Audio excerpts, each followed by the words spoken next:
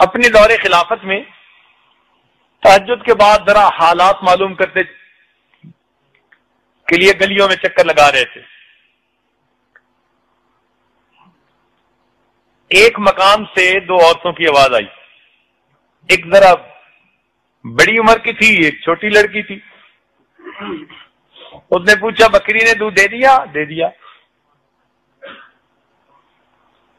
कितना दिया? कि जरा थोड़ा दिया। भाई, मांगने वाले तो पूरा मांगेंगे तो इसमें थोड़ा पानी मिला दो। उसने कहा कि अली अमीर मोमिनी ने ऐलान नहीं करवाया कि कोई दूध में पानी ना मिलाए। उसने कहा, कौन सा अमीर मोमिनीन? उम्र देखते हैं, या मुनादी देख रहा है। तो आगे से बच्ची ने, जवान बच्ची ने जवाब दिया कि अम्मा, उम्र नहीं देखता तो उम्र का परवरदिगार तो देखता है। उम्र लेना ने बात सुनी, वापस आ गए।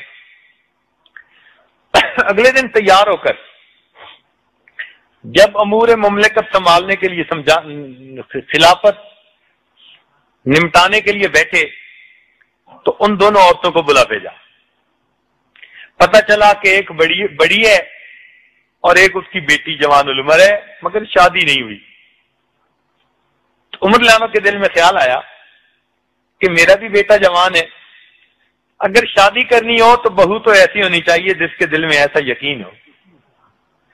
तो उस बुढ़िया से कहा कि देखो तुम्हारी बेटी जवान है, मेरा बेटा जवान है। क्यों ना दोनों का निकाह कर दें? चुनाचे दोनों का निकाह किया। ये वो लड़की थी जो उमर बिन अब्दुल अज़ीज़ रहमतुल्लाह की नानी बनी। इसको बेटी मिली और वो माँ बनी उमर बिन अब्दुल अज़ीज़ रहमतुल्लाह अब शादी तो हो गई। उमर लानो ने एक दिन उसको बुलाया और उस लड़की को कहा कि देखो बेटी, मैं तुम्हारी एक ड्यूटी लगाना चाहता हूँ। उसने कहा, जी, हुक्म। फरमान लगे ड्यूटी ये है कि जब मैं रोज़ाना तैयार होकर अमूर खिलाफत के लिए घर से निकलना चाहूँ तो तुम्हारी ड्यूटी है कि रस्ते में आकर मेरे करीब तुमने मुझे वही सबक याद दिलाने सुनने का सबक कौन था? कहने लगे, जो तुमने माँ के सामने कहा था, उम्र नहीं देखता तो उम्र का खुदा तो देखता है। इतना फ़िक्र ये अच्छा लगता था उमरलानों को कि उस बच्ची को फरमाते थे कि तू बार बार ये कलमा मेरे सामने दोहरा। चुनाचे हर दिन वो बच्ची आपको जाते हुए याद दिलाती, करीब आके कहती, अगर उम्र नहीं देखता तो उम्र को खुदा तो देखता है। किताबों में लिखा है उमर लानों के दिल पे इतना वो छाप लग गई थी उस फिक्रे की, तन्हाई में बैठे हुए खुद ब खुद कभी कभी कह उठते थे, उम्र नहीं देखता, उम्र का खुदा को देखता। उम्र नहीं देखता, उम्र का खुदा तो देखता। ऐसा दिल पे वो फ़िक्र आता वस्त हो गया। सुसर का ये हाल, बहू का ये हाल, और बेटे का हाल अब्दुल्ला इब्न उमर लानो। जाते हैं रास्ते में तो एक जगह एक चरवाहा मिला। चरवाहे को कहा कि भाई, कुछ हमें दूध ही दे दो। उन्होंने कहा, जी, मेरिया नहीं है, बकरियाँ। इजाज़त नहीं है।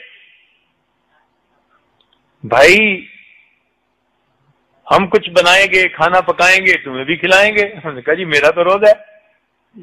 तो बड़े हैरान हुए कि जंगल में देखने वाला कोई नहीं। गर्मी की शिद्दत और फिर बकरियाँ चराने वाला, अल्लाह तोबा। इतना भागना पड़ता है कि बंदे का जो है, वो हशर हो जाता है। ये रोज़े के साथ तो दिल में ख्याल है इसको आजमाते तो उसको मशवरा दिया, आजमाने की खातिर। भाई, एक बकरी हमें बेच दो। हम उसको पकाएँगे, तुम भी अफ्तारी कर लेना, हम भी खाएँगे। उसने कहा, जी, मैं मालिक तो नहीं हूँ। भाई तुम मालिक को कह देना कि एक बकरी को भेड़िया ले गया। वो नौजवान मुस्कुराया और कहते हैं कि अच्छा अगर मैं उसको कहूँगा बकरी को भेड़िया ले गया तो फ़ईन अल्लाह, फिर अल्लाह कहा है?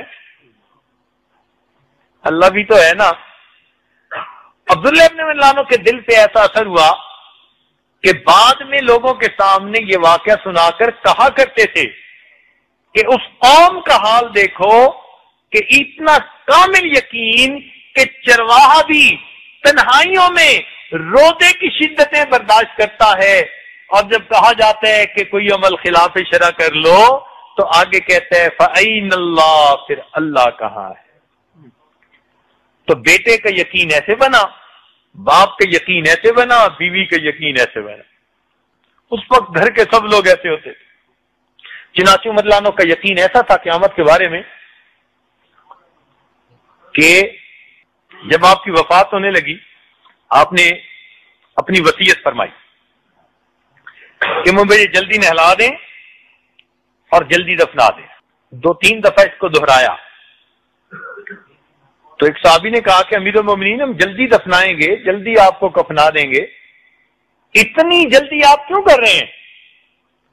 तो जब ये कहा तो उमरलानों की आँखों में आँसू आ गए, फरमान लगे मैं जल्दी इसलिए कर रहा हूँ कि अगर तो अल्लाह ताला मुझसे राज़ी हुए तो तुम मुझे अल्लाह से जल्दी मिला देना।